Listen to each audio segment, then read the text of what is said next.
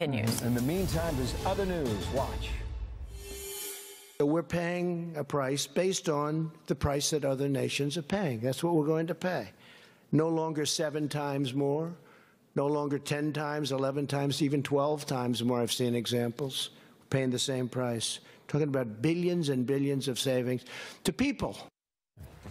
President Trump yesterday proposing major changes to the way Medicare pays for prescription drugs. The plan involves setting an international pricing index that would bring the amount Americans pay more in line with the costs in other countries. We're joined now by our headliner, Alex Azar, Secretary of the Department of Health and Human Services. Mr. Secretary, thank you for your time this morning. We all want to know more. What can you tell us about this this morning?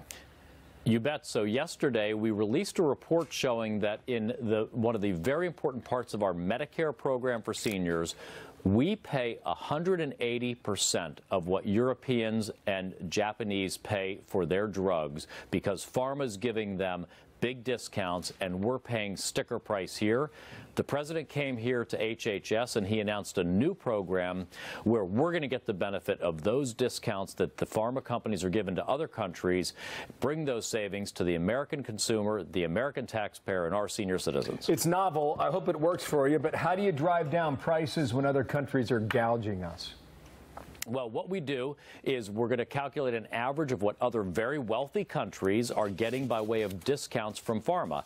And then we're going to, over the next five years, scale down our payments for those drugs down to get at least a 30% reduction in cost. That's $17 billion of savings for Medicare over the next five years and $3.4 billion out of pocket savings for seniors from this one initiative on reducing drug prices. Why has this been such a seems to be a very personal effort on the part of, of President Trump. Why, why is he uh, going at this with the uh, uh, uh, amount of energy and focus as he has been and is?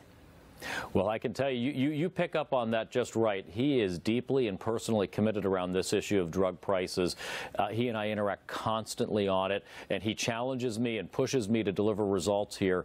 Um, he just hears from the American people, and he hears that they're paying too much. You know, We've got drugs in this Medicare program where we're paying 500% what a European is paying for. And that means that for a senior citizen, when their doctor charges them for that drug, they're paying five times what a European would pay for the exact same medicine. But, but essentially, what, you, what you're trying to do is put pressure on the pharmaceutical companies, too, right? Because if you can drive up competition, you can bring the prices down. That's the well, idea. Yep.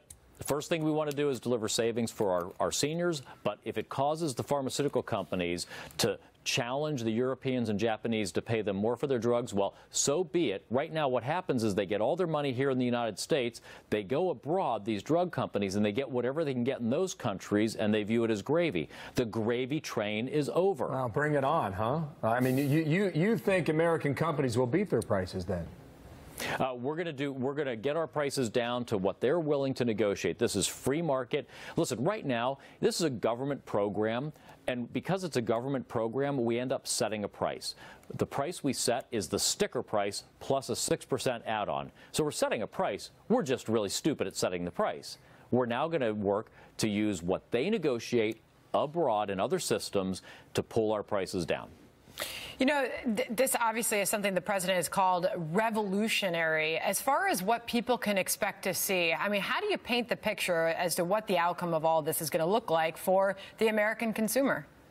So what this is going to mean is that by the end of next year, early 2020, when it's implemented, people will start seeing real savings when they get infusion products or any type of physician-administered drug under the Medicare program in the 50% of the country where this demonstration project is going to be initiated. But they're already seeing savings from the work the president is doing. Historic levels of generic drug approval. We've introduced competition into the Medicare Advantage program to bring savings there. We're already seeing that in this year's open enrollment period. We've brought the gag clause statute forward that the president signed to prevent insurance companies from telling pharmacists that they can't inform you as a patient that you can get your drug cheaper just by paying cash. That's all very so important stuff. And generics are a big part of this. Two specific questions.